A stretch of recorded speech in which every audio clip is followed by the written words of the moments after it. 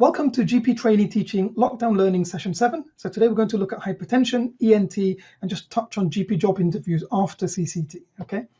So thank you for everyone that's joining for the first time and welcome back to those of you that have joined us for the first six sessions or or some of them anyway okay? So for those joining for the first time very briefly my name is dr mohibur rahman. I'm a portfolio gp i do a range of clinical roles um, and i'm also a medical director of emedica. So my main work now is in medical education but i, I do uh, various different clinical roles which i touched on in a previous session. Um, so today we're going to go through three different topics. Um, it's going to be interactive so do use the poll uh, when it comes up. Uh, do use the q&a if you want to ask me questions questions and use the chat to get involved in the discussion. Okay. If you've got a question you'd like me to answer, please don't ask that in the chat. Please ask in the Q&A because that comes to me in the order they were asked and I'll make sure they're all cleared by the evening. Okay. And you won't see the poll now, but I'll show it to you when I show you the first AKT style question. So just a quick update on MRCGP exams before we move on. So the cancelled April AKT is going to be held on July the 15th, only 450 spaces priority is based on CCT dates. So majority of people that have been given priority are people who are due to CCT in August this year. Then people who are going to CCT the rest of this year. People CCTing next year in ST2s aren't going to get a slot uh, for the July exam. But there's a second date. August 19th will open later with larger capacity because by then, uh, Pearson VUE, a lot more of the centres will be open. So if you didn't get a slot for July 15th, Bookings are open right now, by the way. If you can't book, it's because you're not being pre-approved. It means that you could try maybe for the August date. Okay. And then the CSA replacement, the RCA, the RCGPs confirmed that the re, uh, recorded consultant uh, consultation assessment, the replacement for CSA, the temporary replacement, is going to run at least for the whole of this year. So CSA definitely won't happen for the whole of 2020. Um, it may start coming back early next year. More likely, it's going to come back after August 2021, but that's not confirmed. In December, they'll confirm what's going to happen to next year, but I have confirmed there will definitely not be CSA the rest of 2020. So it's important for those of you due to CCT the rest of this year, maybe early next year, you're probably going to do RCA. So what, what else do we know about it? It's going to be 13 consultations. They could be either audio recordings, video recordings, face-to-face consultations that are recorded on video, or a combination of the three, or you could do all of them in one type, or do two types or three types up to you first cohort, you're going to have to submit by the end of June, June the 28th, actually. So not even the end of June. Okay. That's really quite tight. And we are going to be running an RCA masterclass this weekend to give people a chance to you know get the most out of it if you're going to sit it for this time. We'll run it again for people that are going to sit it later. They haven't confirmed the next cohort, okay? But it's probably not going to be till around September time. Key message, keep going with your revision, whether it's for AKT or CSA. So in terms of the program today, three topics, hypertension, ENT, we're going to do a, a, a, CSA type or RCA type case, and then GP job interviews for once you finish your training, okay? And there'll be a Q&A at the end. So in terms of hypertension, this is such an important topic because we see it a lot every day. It's an important risk factor for cardiovascular disease. Um, it comes up almost in every AKT exam. And, you know, for those of you that are eventually going to sit CSA, if you're an ST1, for example, CSA will be back by the time you get there, okay? You know, there's almost always a case that has this at some point. Similarly, it's a kind of thing that you might pick to do a consultation on for your recorded consultation assessment. So we're going to look at both diagnosis and management. Okay, so we're going to start by going straight into a question. I'm going to turn the chat off. Okay, and I'll launch the poll in a few seconds. Okay, have a quick look at this.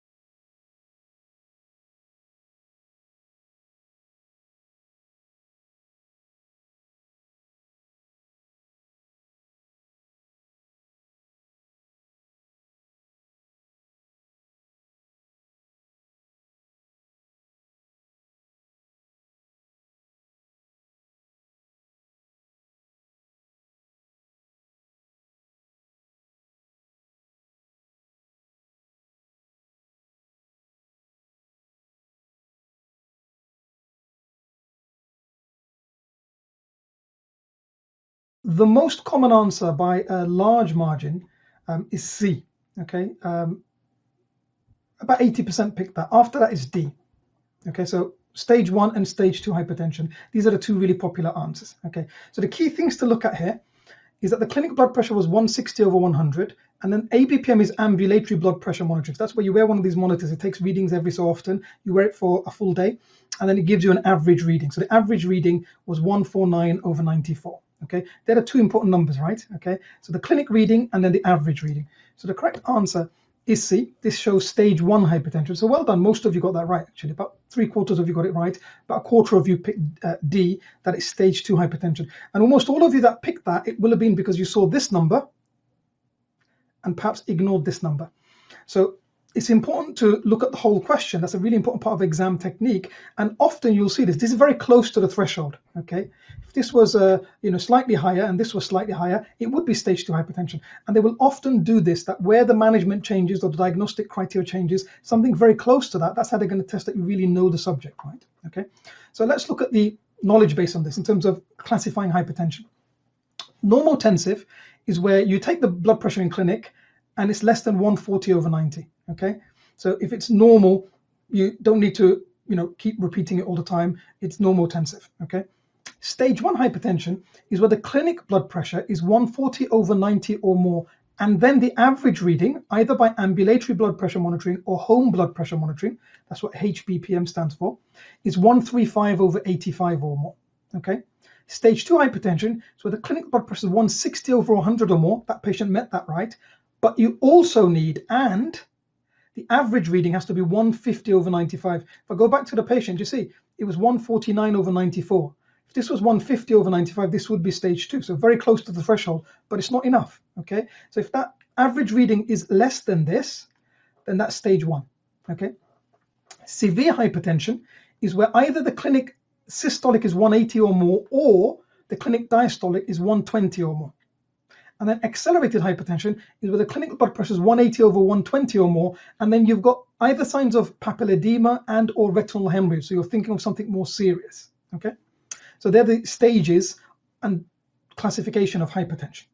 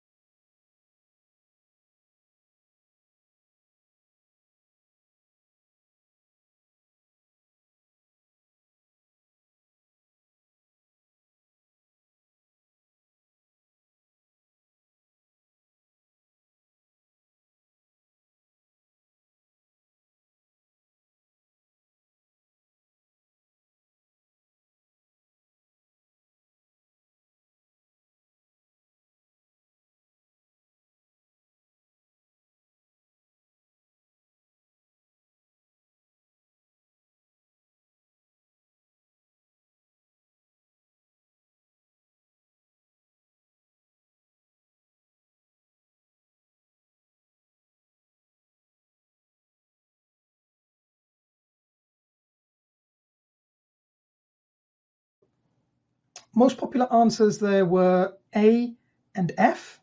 So urine dipstick for proteinuria, uh, 12 lead ECG. Uh, but we also had people picking dipstick for hematuria.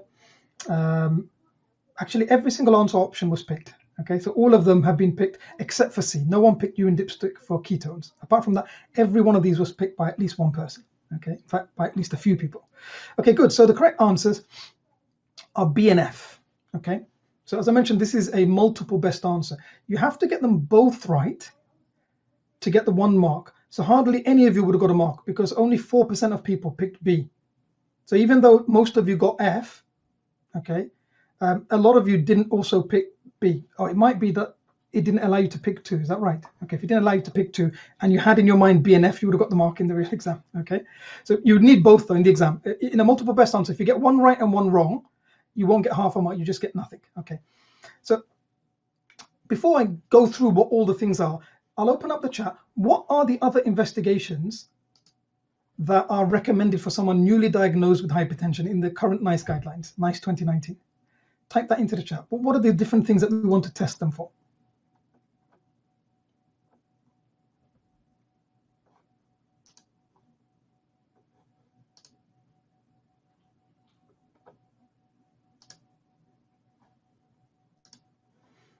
Okay, so people putting in U's and E's, um, albumin creatinine ratio, Q risk, cholesterol, lipids, ACR, urine electrolytes, uh, lipids, renal function, glucose, ECG, TFTs, blood sugars. Okay, so lots of different answers. A lot of them are correct. Uh, I'm just going to go through a couple of things and I'm going to go back to the question in a minute just to show you something really important in technique. Okay, so if we go back to the question, a lot of people picked urine dipstick for proteinuria. And I can almost guarantee that's because you just saw proteinuria and you didn't actually read this. Proteinuria, proteinuria is really, really important. And looking at albumin creatinine ratio is really important. But you can't accurately do that from a urine dipstick. What you need to do is take a lab urine sample and send it to the lab for proteinuria and albumin creatinine ratio. Whereas using a dipstick to pick up blood for hematuria, that's fine, it's accurate and it's recommended. So you, you basically take the urine, dip it, check for hematuria, then send the rest of the sample off to check for proteinuria and albumin creatinine ratio at the lab. That's why A was incorrect. A urine dipstick is not recommended because not accurate for proteinuria. You need to send it to the lab for that, okay, for the ACR and the proteinuria. It's fine for hematuria, okay? And then Uh, quite a few people had picked referral for retinal photography. Again, you want to do fundoscopy because you do want to look to see they might already have some hypertensive hypertensive retinopathy, some signs of that, right? Okay, but you don't need to refer for retinal photography. We would just do that in practice with your fundoscope, and then if you saw something, then you might you know want to get some images. Okay, but otherwise we just do it ourselves. Okay. So let's go through the things that we need. This is what the NICE guidelines recommend. So there's a lot of additional tests that weren't in the old guideline actually, and then they always test these things. So the things that we should do, urine for hematuria, just do that with a dipstick, then send that sample off to the lab for albumin creatinine ratio and for proteinuria. You can't do that accurately from a dipstick. Send bloods off for U's and E's and EGFR, for HbA1c and for lipids. So a lot of you picked those, so, so well done. Do fundoscopy, so you just do that in clinic for hypertensive retinopathy, and then do a 12 lead. So you can see we can do all of these, take the blood ourselves, you know, send the sample off, do the fundoscopy. You can, you can do all of this in primary care, and then the, the, results will come back from the lab for the ACR, proteinuria, and for these bloods. And then if we see anything that makes us think, okay, they've got additional risk factors. You know, we pick up their diabetes, for example, we pick up that they've got uh, something funny on the ECG, then we might refer them to cardiology for further uh, workup and things like that. Okay. So really important there to highlight exam technique. A lot of you that got part of that question wrong, it's not because of a lack of knowledge. Like you knew that proteinuria is important, but it's reading the question and reading the answer options carefully. So you pick up, and this is sometimes these small things in exam technique that lead someone to lose some marks. That could be the difference between pass and fail. Okay. So now we're going to do three extended matching questions. Extended matching questions in the exam comes in come in sets of two, three, four, or five. For each set, the answer options are always the same things to choose from, but the scenario changes. There's only one question on each screen. So you're going to do all three questions in one go. Write down your answer on paper. The chat and the poll will be closed. Okay. Just turn the chat off for a minute um, while we do this. Um, and then I will come back and go through. It's because you'll see if I went through the answer of the first one before I gave you the second question, it might give the answer away. You wouldn't have that benefit in the exam. So I'm going to just give you all three to do in one go. Yeah, let me just uh, turn my camera off so there's no distractions. Okay, so you're going to do all three in one go. Okay, here we go.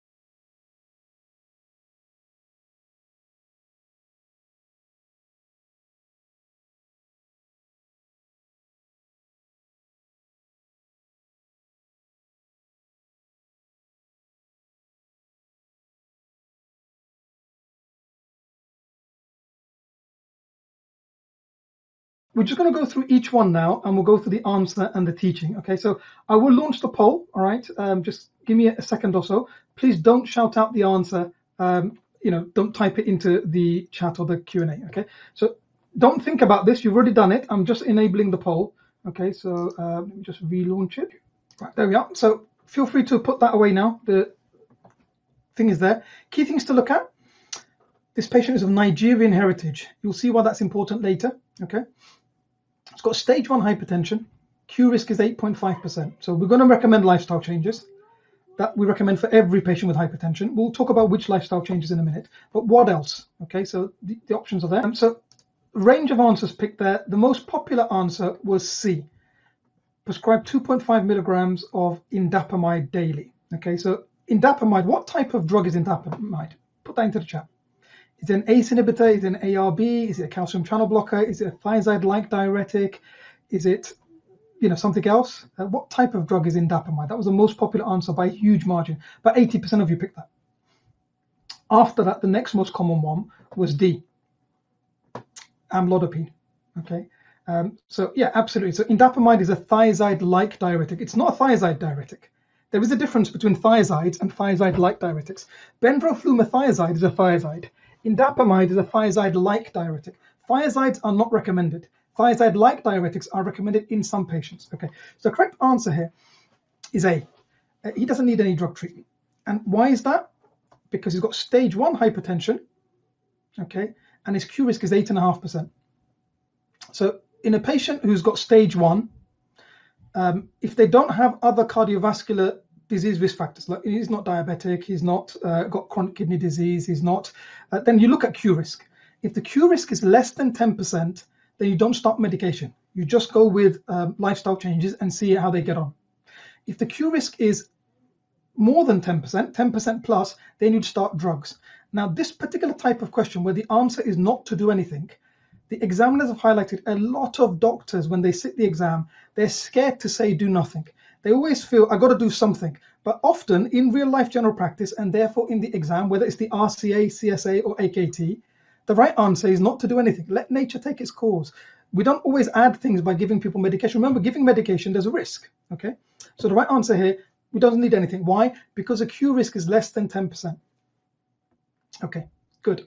He hasn't got any other risk factors. Okay, second one, again, I'm going to relaunch the poll. And that's time. Don't worry if you've not uh, finished, you've not had time, it's fine, okay. Um, okay, good. So the most popular answers here were D and E. Either calcium channel blocker, amlodipine, or lisinopril is an ACE inhibitor. Okay, so D and E, these were the two really popular answers. About 50% picked amlodipine, about 40% picked uh, lisinopril. Okay, so here, this patient's diabetic. So even though the Q risk is less than 10%, because he's got diabetes, and then even if he wasn't diabetic, because we've got stage two hypertension, stage two, we treat everyone with drugs, regardless of other risk factors. Okay, so he's going to need medication. But the fact that he's diabetic is important. Why? Because it's going to decide which drug we give him. Okay, so the correct answer, you give him lisinopril, an ACE inhibitor. Why? Because he's diabetic. Otherwise, if someone was 55 plus, generally we'd give them a calcium channel blocker, wouldn't we? But if you're diabetic, regardless of age, you're going to be started on an ACE inhibitor or an ARB as first line. For most patients, it's an ACE inhibitor. Okay, so E is the right answer. Okay, um, lisinopril. Okay, last one. Let me. Okay, good. So here, again, the two popular answers are, are D and E. So D, amlodipine, calcium channel blocker. E, lisinopril, um, ACE inhibitor. Again, the, the, two really popular answers. Okay, um, slightly more this time picked lisinopril. So here, this patient is got diabetes, and then they've also got stage two hypertension, and they're 55. Q risk is 12.9%. This patient's Caucasian. So the right answer here is also lisinopril. Now, something about this, again, why I've included this, I just wanted to highlight another bit of technique, is what I call the EMQ trap. Some doctors, and I guarantee if I open up the chat, oh, it is open, I guarantee there's at least a couple of you that are on this webinar today that actually thought, you know what, I think the answer is lisinopril because they're diabetic and so they need to have an ACE inhibitor and they're not Afro-Caribbean, so it doesn't need to be an ARB. So I'm gonna, but then then you would have thought, wait a second, didn't I just put, and in the real exam you would have clicked previous and said, Yeah, I just put E for the last one. Why would they put two E's in a row? I think they're trying to get me. And you will have changed a good answer for a bad one. So you would have changed E to D and you just lost yourself a mark. Why did you lose yourself a mark? Because you don't have confidence in your own knowledge. This is really, really important for doing well in the exam. I'm going to let you into a huge secret. Everything in the world is easy when you know it. Before you know it, everything's difficult. All right. But when you know something, it's straightforward. Okay. And so, really, really important to um, uh, have that confidence that if you think something's easy, it's because you read it or you've previously done a question on it or that you've you know got that knowledge and you really understand the subject, then don't look for patterns. No one's out to get you. We want you to pass. Okay, we want you to get your CCT and come and help us at the front line. Okay, no one's out to get you except the person sitting in your chair. So if the answer is E for all three in an EMQ, put down E for all three of them. You can use the same answer once, more than once, or not all at all. Do not go looking for you know, uh, conspiracies. Someone's trying to get me. No one's trying to get you. Okay, so let's look at hypertension management. First thing is lifestyle modification we recommend for all patients. Just type in the ch chat while I'm going through this slide. What are the lifestyle modifications we'd recommend to all patients with hypertension? Okay, so then in terms of medication, stage one, we treat if they've got raised cardiovascular disease. So either their, their Q risk, their 10 year CVD risk is 10% or more, or they've got existing cardiovascular disease. They've already had a heart attack, they've already had a stroke, they've already had a TIA, or they've got target organ damage. So they've got retinopathy, or they've got diabetes, that's new in the latest guideline, or they've got CKD, again, that's also new in the latest guideline. Now that's for patients under 80. 80 and above, think about drugs, just if their BP is 150 over 90 or more in clinic, even if their Q risk is lower than 10%, you'd think about it. Stage two, give drugs to everyone. Severe hypertension, give drugs even before you confirm the diagnosis with the average readings because it's that high that the risk is greater. Okay. And then accelerated, you're thinking about, you know, people if they've got very high blood pressure, 180 over 120 or more, and then they've got papillary edema or retinal hemorrhage, you're thinking about things like pheochromocytoma, you're thinking about malignant hypertension, you're thinking about brain tumors, you're thinking about other things, right? You might either admit those or send them in depending on how unwell they are. Okay, so let's look at what people have said in terms of the lifestyle modification. So healthy diet, great. Reduce salt intake to less than six grams a day. Okay, um, if they're overweight or obese, get to a healthy weight. If they're drinking excessively, cut down on alcohol. Smoking cessation if they're smokers. Doing regular exercise, at least half an hour, five times a week. Okay, so these are the things that we're going to tell them: healthy exercise, healthy diet, smoking cessation. You know, reduce alcohol if they're drinking a lot, um, and then reducing salt to less than six grams. Okay, great, well done. They're the mainstay. So let's look at the actual algorithm for hypertension. Okay, and there's a sequence that you should think about. The first question to ask yourself is Is the patient diabetic? Because if they're diabetic, you don't need to worry about their age. They're always going to need an A drug. So, an A drug is an ACE inhibitor for most patients, but it's an Afro Caribbean patient, it's an ARB first line. Okay. If they're not diabetic, the next question to ask is Are they Afro Caribbean? The guideline considers them Afro Caribbean if both parents are of African or Caribbean heritage. That's why you'll see sometimes they'll describe in the question the father is Jamaican, the mother is Sri Lankan. That would not be someone that's considered Afro Caribbean by the guideline. If someone's of mixed heritage, one parent's Afro Caribbean but one's not, the risk genetically is the same as someone Caucasian. So you wouldn't consider them Afro Caribbean they might consider themselves Afro-Caribbean. I'm talking about what the guideline considers. Okay, if both parents are of African or Caribbean heritage and the patient's considered Afro-Caribbean and they're not diabetic, then again it doesn't matter about their age. It's going to be a calcium channel blocker. So they're not diabetic, they're not Afro-Caribbean. Then you need to ask about age. Now, if they're under 55, you're going to start them on an ACE inhibitor. If they're 55 or more, you're going to start them on a calcium channel blocker. Whichever one you start, optimize it. Once you've optimized it, second step, this is big change in the current guideline. You can add either of the other classes. So if they were on an ACE inhibitor, you've optimized that. So you started on lisinopril 10, gone to lisinopril 20, maybe even gone to 40, or even at 20, you might think, okay, not responding, I might like to add a second drug. At the second step, you could either add a calcium channel blocker or a thiazide-like diuretic. Similarly here, they're on a calcium channel blocker here. Optimize that. They're on amlodipine 5. You take them to amlodipine 10. Now you could either add an ACE inhibitor or a thiazide-like diuretic. The guideline doesn't prefer one over the other. Optimize two drugs at step two. Step three, they're on all three classes. An A class drug, so an ACE inhibitor and a ARB, a calcium channel blocker, and a thiazide-like diuretic. That word's really important. Thiazide-like means things like indapamide. It does not mean bendroflumethiazide, which is a thiazide, not a thiazide-like diuretic. Step four, you've optimized all three of these. Add in more diuretics like spironolactone. Add in an alpha blocker. Add in a beta blocker. Still not responding, they've got resistant hypertension, refer them into hospital. Okay. A couple of special cases, and some of these have come up in recent exams. If someone's diabetic and they've got hypertension, first line is always an A drug. So an ACE inhibitor for most patients. But if they're Afro-Caribbean and they're diabetic, go straight to ARB because Afro-Caribbean patients, if they ever need an A drug, you should go straight to ARB because the latest research suggests that they respond better. Okay.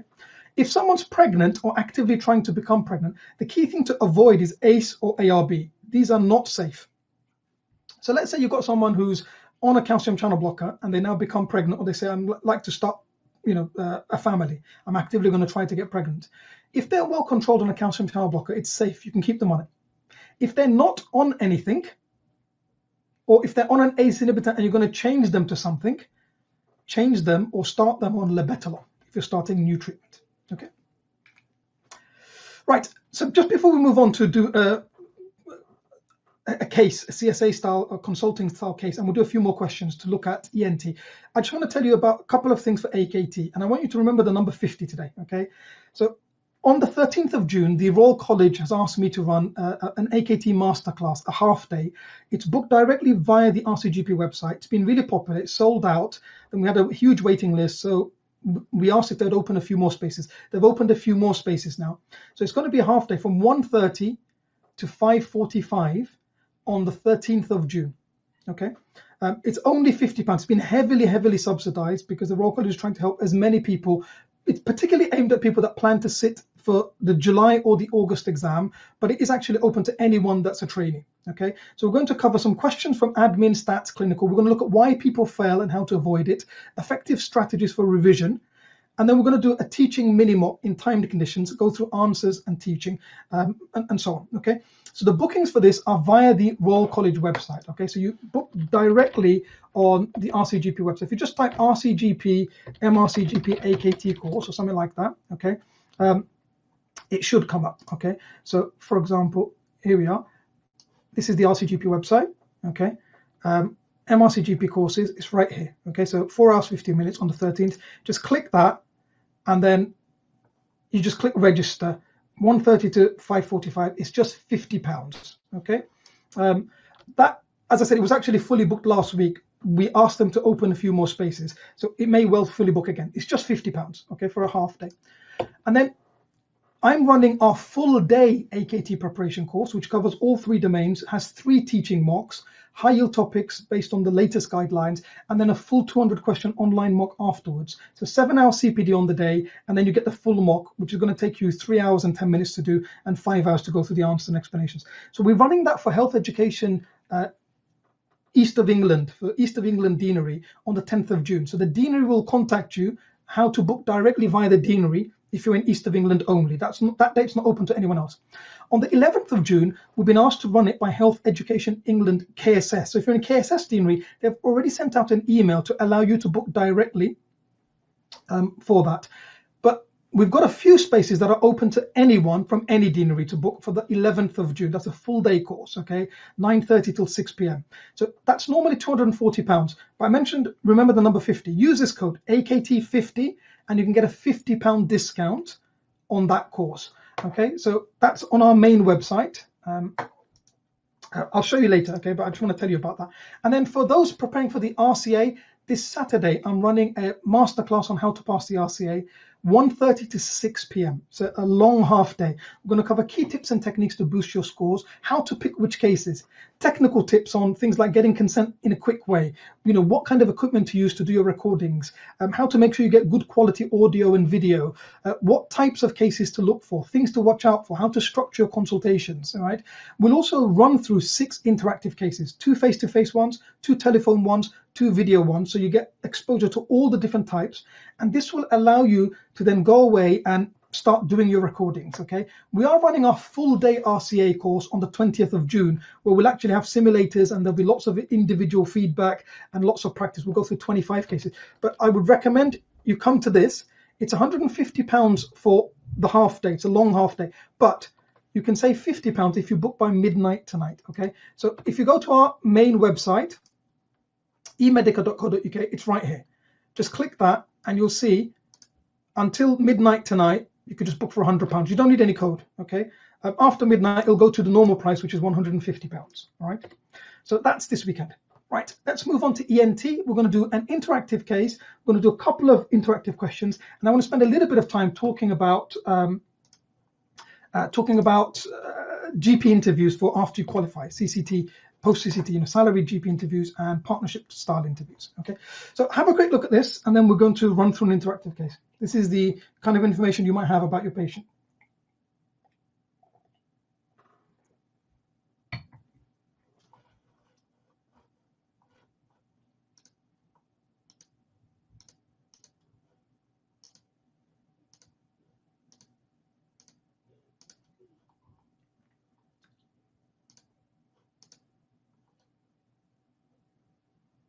Okay, good. So let's make a start. So this one is in out of hours at the base, i.e. it's a face-to-face. So remember, for the RCA and in the CSA, you have some face-to-face consultations, you have some telephone consultations. For the RCA, you can also do remote video consultations, okay, which are similar to face-to-face, but there might be some things that you can't examine. But here you could examine. Okay, so this is the patient.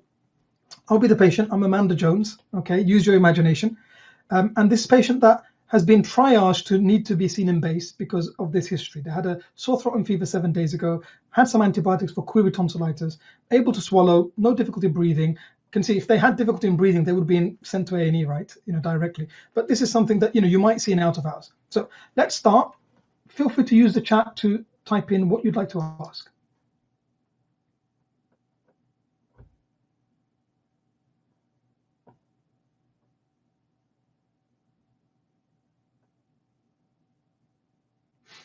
Okay. So someone said, "How can I help you?" Well, doc, uh, you know, I'm, I'm, this sore throat's not going away anywhere, and I already had antibiotics. You know, my GP gave me antibiotics uh, for tonsillitis. To be honest, they didn't even want to give it to me, but I had to insist. So what I think is that they just weren't strong enough. So really, I was hoping you give me a stronger course and maybe a longer course. So you know, maybe strong, something different because it's not worked. I've still got this sore throat someone's asked any cough. Um, not really. Main thing is, you know, I, I, do have a bit of cough anyway, but not that's not new. I, have always had cough for years. But the main thing that why I went to see my GP is that I'd had this sore throat. That's what was new. Okay, I was feeling a bit hot and sweaty as well.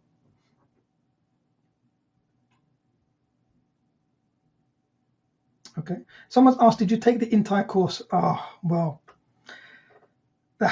I'll be honest, doctor um, I, I, took most of it. Okay, someone asked which antibiotics. Oh, they gave me is penicillin, um, and they told me to take ten days. But to be honest, what happened was I'd taken six, seven days, and I was feeling better. And um, they told me don't drink if you're on the antibiotics. And I'd gone to a party, and uh, you know they had champagne. Um, we were celebrating a friend's anniversary, so I just I had a couple of glasses, and I thought if I have the antibiotics, I'm probably going to be sick. And I am feeling better anyway. So I, I, had seven days. It was only the last three days I didn't take. Okay. So someone's asked, "Do you smoke?" Um, yes, I do smoke. Is that is that relevant, doctor? Because uh, um, as I said, I do have a cough, but I've had that cough for years because of my smoking. I guess um, that's not changed. Do you see? Someone's asked, "Have I had tonsillitis before?" Uh, not. I had. I used to get it when I was a, a child. Uh, you know, I had a, a, few episodes when I was young. Had to miss a few days from school, but nothing for a long, long time. Someone's asked, any change in my voice? Yeah, actually, now you mentioned that, m- my boss mentioned that when I phoned them, because um, I'm doing some work from home at the moment, they mentioned that when I phone them, that my voice sounds a little bit different. That you know, like the, the, the tone of it's changed. Someone's asked any difficulty swallowing. No, doctor. The doctor asked me that on the on the phone before I came here. I'm able to swallow. You know, I'm eating fine. I'm drinking fine. Um, no problems with toilet. Someone's asked, any weight loss? Um, no, doc. I, I, wish I could lose some weight. Actually, I think I've put on a few pounds over the last, uh, you know, five six years or so. Any loss of taste or smell? No. Uh, my smell sounds fine. The, the, taste is okay. Any headache? No, not no headache. Um, just really main thing is throat's very scratchy. It's hurting quite a lot. Okay. Um, it, it's a little bit difficult like I can open my mouth, but you know, if I open it really wide, it hurts a little bit. Sometimes if I've coughed up any blood, heavens no, I would definitely have come sooner than that. Okay. Someone says, how long has a voice changed? I'd say really for about the last five or six days. Okay. Someone's asked any postnasal discharge. What does that mean, doctor? What's postnasal discharge? I've not heard that word before.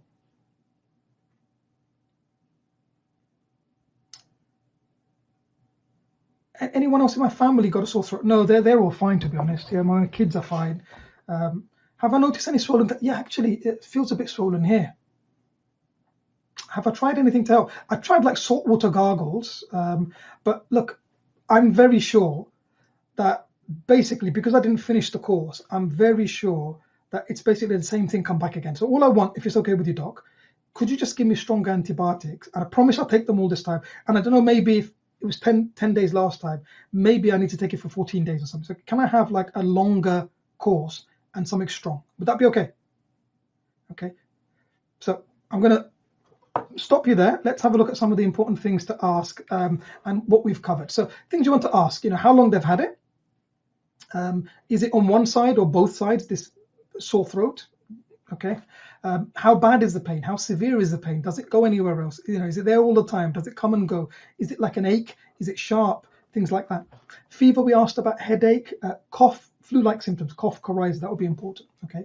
Drooling, that's a really important question. Someone had asked about that. Uh, any change, and this is a question you have to ask in a sensitive way.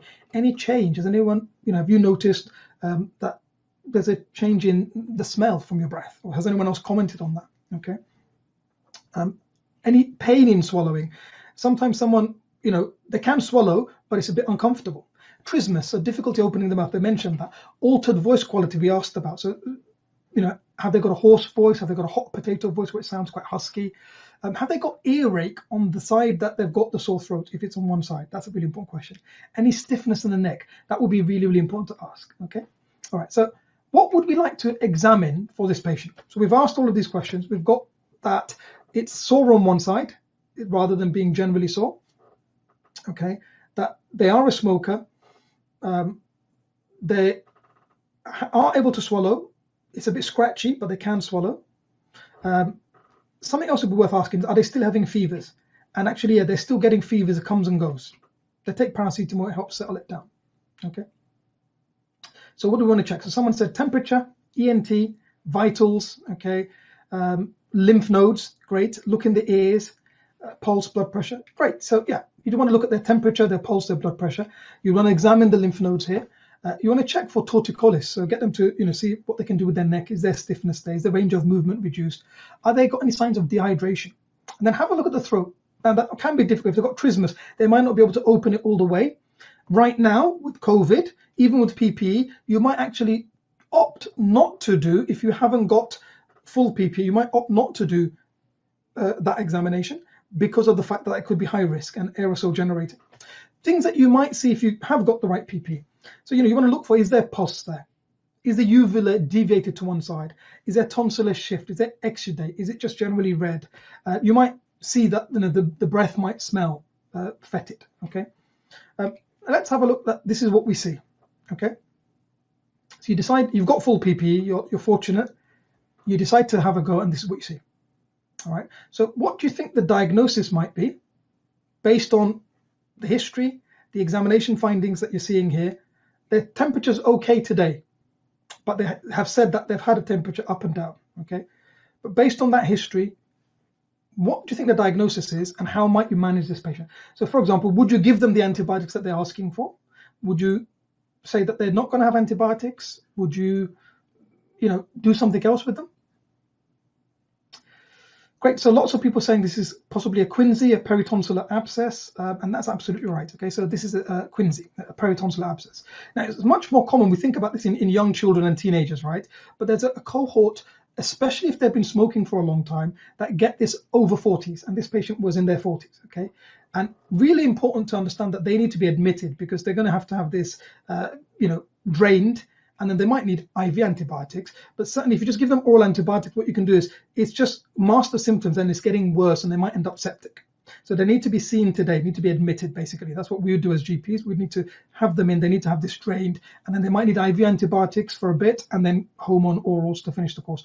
What we should not do is just start oral antibiotics just because the patient wants it.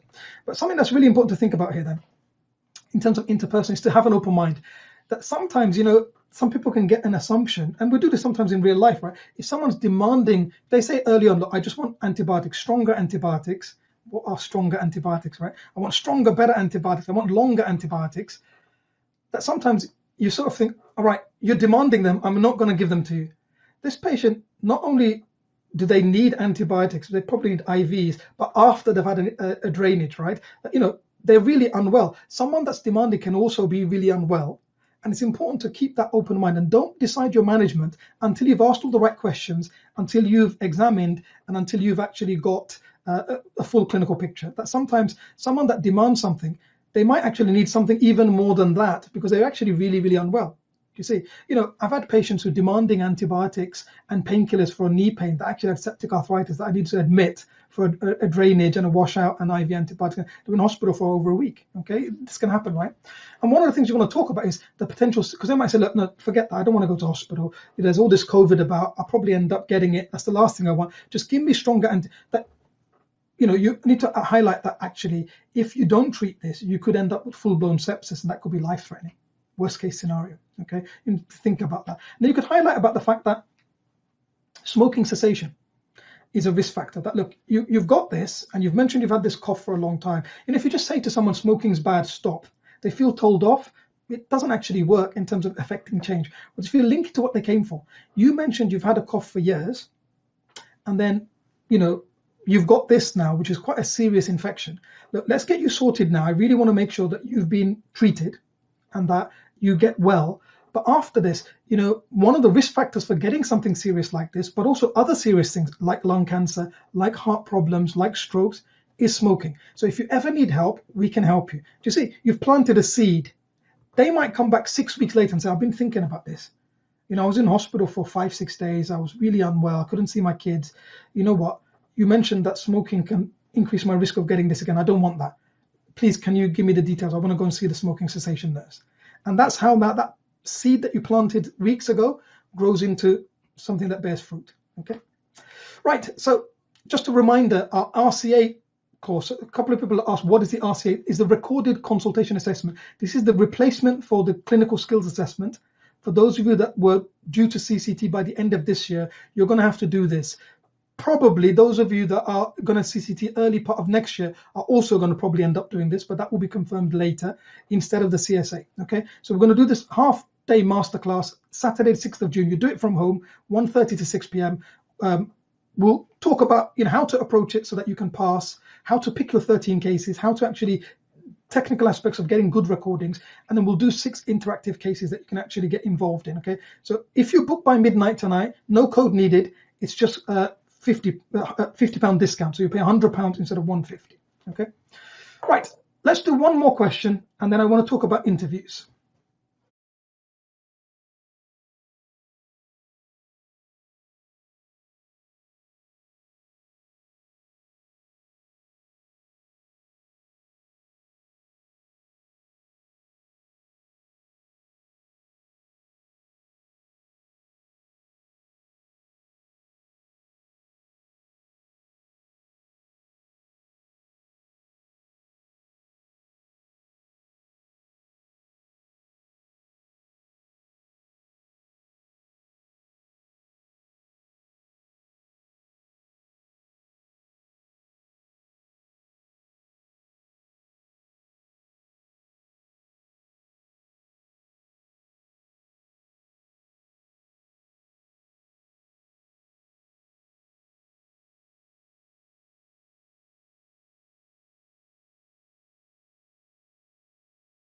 Close that there. So the most popular answers were E and A. So E was the most popular, no treatment needed, review in a few weeks.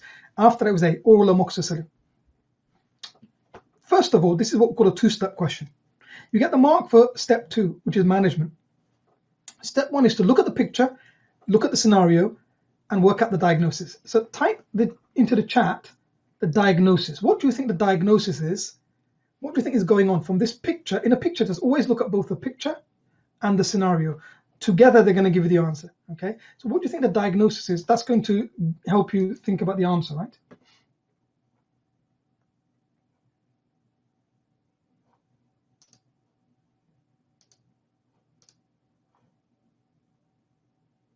Okay, so a few people said glue uh, some people have said uh, bilateral otitis media.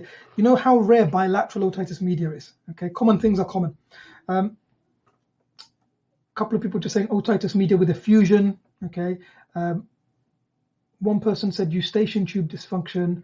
Um, so the most popular things, a lot of people saying uh, either otitis media or glue. Um, and a few people saying eustachian tube dysfunction. Okay, so the right answer is this fits a classical picture of eustachian tube dysfunction. Okay, very common to get it um, either after having had a cold or something like that.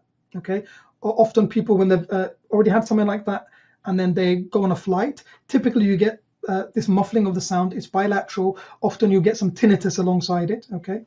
Um, but particularly common after they've had an upper respiratory tract infection. So they had cold symptoms, then they were on a flight and it's there. So uh, eustachian tube dysfunction uh, in most cases will just settle on its own within four weeks. So the right answer is E. No need to do anything, just review in three weeks. At four weeks, if it's not settled, then you could do things like giving steroids. You could do things like antihistamines, okay? You wouldn't give antibiotics because it's not an infection, all right? So the gentamicin option, the amoxicillin option, th these aren't useful. Oral steroids, if it hadn't settled, maybe in four weeks, you might think about, okay? Um, if they're not settled after that, then you send them to ENT. So this is a perfectly healthy eardrum. I'm just going to show you a couple of really important things. So the first thing is, can you see this light reflection? That tells us that the drum is intact and basically the light is bouncing off the drum and coming back at you, okay? You can see that I can separate this bone from this bone with a clear gap. If you can separate the landmarks like that, it usually means that the pressure behind the drum is normal, okay? You can see that the color looks healthy, doesn't look inflamed, and there's no fluid level. This is otitis media with effusion. Can you see how inflamed this looks compared to a normal healthy eardrum? Because, can you see the fluid level here? Because of the fluid behind the drum and the inflammation, there's increased pressure behind the drum. As a result of the increased pressure, can you see how we can separate these two bones with this gap? You can't do that with increased pressure. They sort of fuse. It's not easy to see. That's one of the ways that you can tell there's probably increased pressure behind the drum. So this is otitis media with effusion. This is a healthy eardrum. Okay. So someone's asked, can you use Otovent? So remember, you have to pick from the options there, right? So there are other things that you could do. So for example, you can use, uh, yeah, um, osteo. You can use the things to sort of uh, use like an inflation, but ENT would do that. We wouldn't do that in primary care. Okay. Sometimes people buy things over the counter. Um, again, we wouldn't recommend that because it's not evidence based. Okay. So other ENT topics. So ENT and genetics are the two clinical topics that people do worst in in both AKT and CSA. So it's worth, it comes up a lot in the examiner's report that people didn't do well because most of you didn't have an ENT rotation. So other ENT topics to revise, hearing loss, interpreting audiograms, and we'll cover this at the main AKT course. Rinne and Weber tests, okay, Meniere's disease, tinnitus, head and neck cancers, okay. Generally, the two-week referral criteria for all cancers are important. They often come up, okay. So I just want to touch on now, I apologize, we're running a little bit over. If I can have 10 minutes, we'll finish five minutes later, if that's okay. If I can have 10 minutes, just to want to talk a little bit about GP job interviews, and then I'll stay back and take questions, okay? So I'm talking about job interviews for when you finish your training for salaried and partnership uh, jobs, okay? So I just want to touch on these. We have our CCT Plus course running at the beginning of July. For those of you close to CCT, that's a full day where we cover all the different career options practical advice about how to do well interviews, how to write a good CV, uh, about how to negotiate your contract, about the money side of GP, about the different career options, about things like how to compare different offers. It's a really in-depth, a lot of practical stuff you're not going to get anywhere else. But I want to touch on this. What kinds of things happen in interview and what are the kinds of things that they might ask you about? So you can start reading about them. So typically an interview for a salaried GP job or a partnership job will be somewhere between 15 minutes and half an hour. And the kind of thing that might happen is sometimes, especially for partnership interviews, sometimes they'll give you a topic to prepare a presentation on or ask you to pre- prepare a presentation all about you and your background so that they get a flavor of you. And some, for some people, that's quite intimidating because they're not used to presenting in front of people. And so it's important to practice. Almost always, there will be 15 to 20 minutes of questions and it will be a semi structured interview, i.e., they will ask every candidate the same series of questions so that they can have a scoring system to show that they have a fair interview process. Okay. Um, and then usually there's about five ten minutes at the end where you can ask them questions. And that's your opportunity to ask questions to find out a little bit more detail about, you know, specific things that different doctors in the practice might be interested in, about the practice ethos, about, you know, things like how often they meet for coffee, what kinds of things they do for fun. Because remember that when you join a GP practice, usually it's a small team. Okay, there are some very big practices, but most practices are three to six doctors. My practice, for example, there's only two of us. Okay, uh, you know there are some big practices where there's 20, 30 GPs, but in a lot of cases, a big part of if you're going to do well in a practice isn't about can you do the job. You can all do the job by the time you're qualified, but it's about how you get on with the team. And different practices have different ethos. You know, some practices they're very money minded, and for example, they will never use locums because they don't want to, you know, uh, take a hit on the cost. And that might mean that they take less holidays each because they cover the road. Other practices, everyone takes 10 weeks of annual leave, the partners. They earn less, but they might be happier. Different ethos. You see, some practices they will do everything that brings in extra income. They'll do evenings, they'll do weekends, they'll do all kinds of additional private things. Some practices they won't do anything extra. They would much rather have less stress and have less money and have more free time now, I'm not saying either of those is right or wrong. It's not better or worse. It's just that if you're also got a good fit with, they want what you want, you're going to fit in there. Okay, do you see? So, especially for partnership interviews, there's often two stages. You'll have the first interview, so they narrow down the shortlist to maybe the last two, and then you have a second stage interview. Often, like you'll you'll you know meet all of the team, maybe spend half a day at the practice, get to talk to different team members, and they're sort of getting a flavour of you, and you're getting a flavour of them. Um, as I mentioned, you may have to do a presentation. You also might have to. I, I know of some uh, interviews where they've done a bit of role play, like a bit of a consulting assessment, to see how you might deal with a difficult situation. And that might be a clinical, but it might actually be dealing with a scenario like the practice managers come to you and said, "Okay, um, you know, I'm being bullied by this person. I need your help. How would you deal with that?" And role play something like that to see how you might actually approach that. So the kind of questions you get, almost always there'll be a couple of questions based on your CV. Okay. So, you know, your career today, any additional qualifications you've done, uh, the rotations that you did during practice, things you did outside of GP. There'll be usually questions on personal attributes, so things like your strengths and weaknesses, okay, how other people might describe you. So it's important that you prepare for these things because they're common. Topical issues, so they might ask you about what you think about the primary care networks, about the PCN DES, if you have no idea what that is, you want to read up about these things, okay? About you know the fact that the new GP contract, what your thoughts are on, on the new GP fellowships. Often there'll be scenario-based questions. So one of your colleagues is regularly turning up late. How would you approach finding out why? One of your colleagues is underperforming. How would you approach that? You know, how do you prevent burnout? How do you monitor is stress building up? What do you think makes a good practice? Okay, you know things that might be about teamwork and management especially for partnership interviews very common that they'll look at things like leadership about management and about how you might manage the business not just the clinical stuff um, and so you know like they might give you a situation like that might be a genuine problem they're trying to solve let me give an example they might say to you we've just signed a lease on a new building which is bigger than the current building we'll have three spare rooms how do you think we could use those rooms best to bring in extra income that might be a genuine problem that they're trying to solve. And you might give them an answer that makes them think, okay, I can see that they've got some good ideas and I can see that they're going to be a good fit. And often some of these things are your chance to show how you might skills that, that they don't have. So I'll give an example. Myself and my partner in our practice, neither of us do smears. Neither of us did women's health jobs. Okay. I've avoided it for like 20 years in my career. All right. So if now we're looking to hire someone and they have got additional qualifications and expertise in women's health, do you see how they could highlight that? Look, I noticed that neither of you have this. I could, you know, run smear clinics for you. I could do coil impl- and implants for your practice. Because at the moment, when we need this, we we hire that skill in. We, you know, have a fantastic colleague from a different practice where I used to work, and we will hire them in as a locum at a premium to specifically run smear clinics for us. Okay, if you've got those skills, you could use that, or if you've got a special interest or additional skills that you'd like to show, you know, that you can do, you can use that to, you know, highlight for people. Okay, so that's some, some things to think about. As I said, if you're going to CCT soon, um, our CCT Plus course will show you and cover all of this in detail. Okay. So, any questions? Type it in the Q and A um, and I will go through that.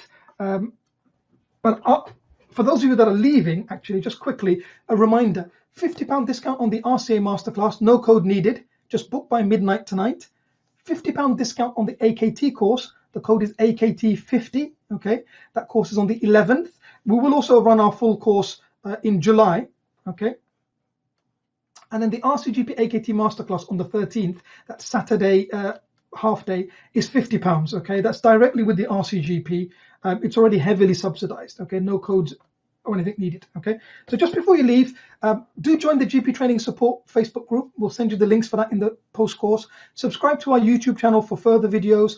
No session next week because I'm teaching the AKT course all day and I won't finish till late. But some of you might be joining, so I might see you there. The next session, free session, will be 17th of June 2020. I'll see you there. Okay, those of you that want to see previous webinars uh, on our YouTube channel, all the recordings are there. They're all free to access. Okay, so I'm just going to go through the Q&A now um, for the next 10, 15 minutes. Thank you very much for those of you that joined and stayed. Apologies for finishing a little bit late.